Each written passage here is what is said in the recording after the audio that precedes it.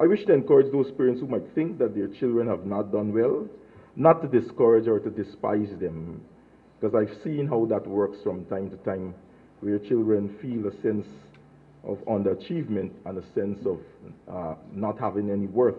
And so it is important that as parents, we do not see these exams as the end total of, of, of a child's life. It was Winston Churchill who espoused that success is never final, failure is never fatal, it is courage that matters. We need to encourage our children, regardless of how, how they may have performed in your sight.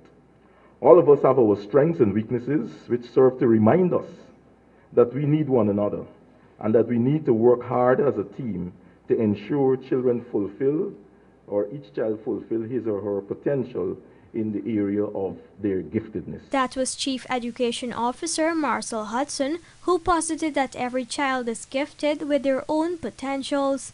Apart from this fact, he recognized that some situations place students at a disadvantage, which may affect their performance. Over the years, there has been a stark difference in the performance of students of the hinterland and the coastland region. To ensure every child has equal opportunities, the ministry will be placing emphasis on holding schools accountable. We recognize that for that to happen, we have as we don't have the luxury to relax and watch them go by.